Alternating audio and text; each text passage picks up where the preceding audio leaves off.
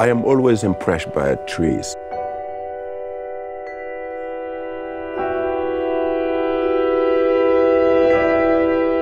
The tree is, has always been for me the best gathering space. First, it is natural and it protects, but it's not closing you off. Everyone is invited to join this gathering, to join the shadow under the canopy.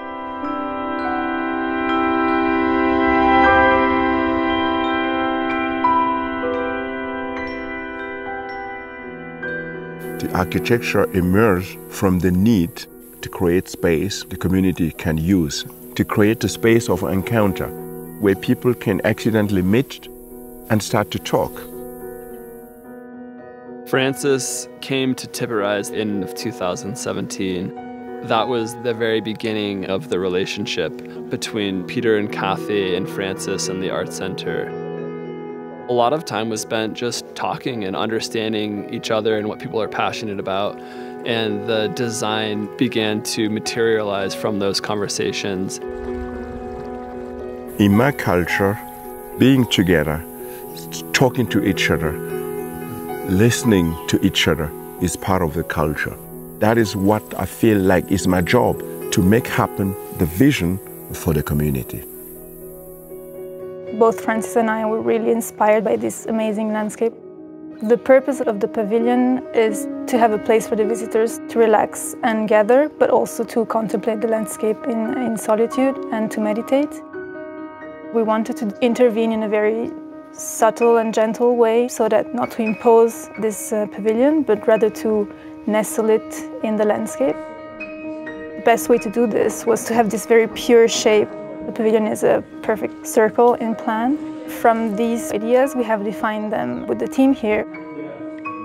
We were all on the same page so quickly. We got to talk a lot about if we wanted to make any changes that would make construction a lot easier or to meet code here. And then it was my job to add the physical reality. Can this be constructed? The most fun part was figuring out how on earth we were going to do it because it's like a giant puzzle. You can't go on the internet and you can't call, call a friend up and say, hey, how'd you do this? Because nobody's done it before. The architect starts from a dream, an idea that is a utopia, and then has to make it realities. You have these very heavy logs that are kind of flying over your head, and then there's reality. Everyone knew to have that much suspended wood in the air needed a really solid structure.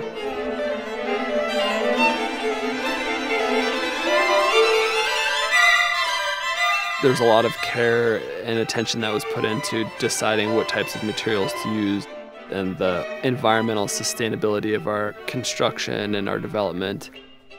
Francis was interested in using ponderosa pine and lodgepole pine. The wood that was used for xylem was all standing dead, devastated by the mountain pine beetle all across the western United States.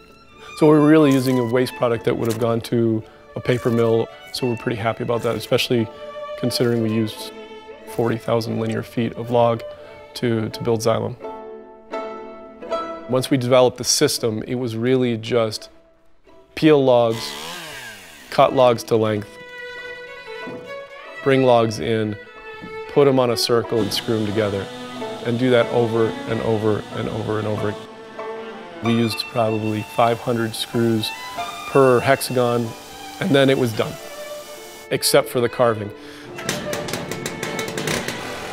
The top of the roof of Xylem is not flat, so we had to come up with a system of how to relay that information onto the wood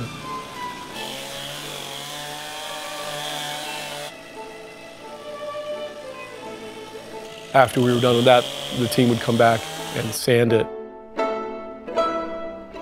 and then we could actually take it out of the shop. It was nice to see that for us, but also for the local team here, this wasn't an obstacle, something that we would never make, but a challenge. And they all faced it with enthusiasm. We really worked together to figure everything out. During the design phase, a lot of attention was put into making things modular. We decided that we could size the hexagons to fit on a tractor trailer to get from here to Montana. Nobody actually had a concept of what it was going to look like until we started to install it.